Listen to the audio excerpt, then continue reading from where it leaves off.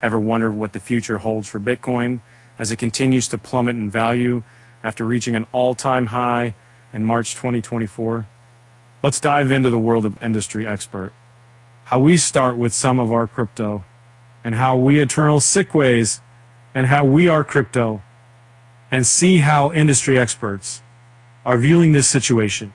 Um, firstly, the fear and greed index in the crypto market has taken a sharp dive to 30 points the lowest since September 2023.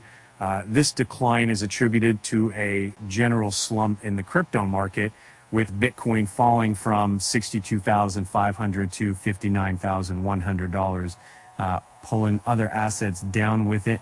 Analyst Willy Woo points towards a cascading long squeeze in BTC, suggesting that miners' capitulation after the Bitcoin halving in April has led to speculators adding new long positions and thereby fueling more liquidations.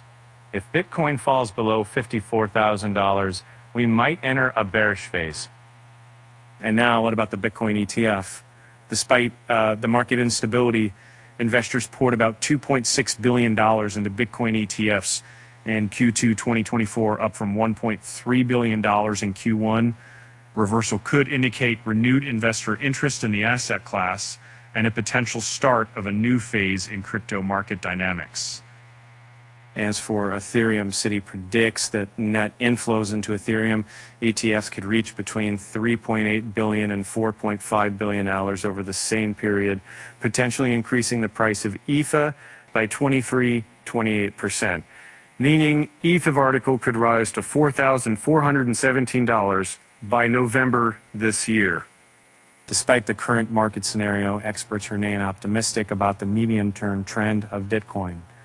Former Goldman Sachs CEO Raoul Pal predicts significant cryptocurrency growth in Q4 2024, attributing it to the U.S. presidential election. Uh, so, with all these expert opinions, will you be investing in Bitcoin or Ethereum soon? After all, fortune favors the brave, and in the world of crypto, it surely helps to have a bit of bravery. And with that said, thanks for watching and stay tuned for our next episode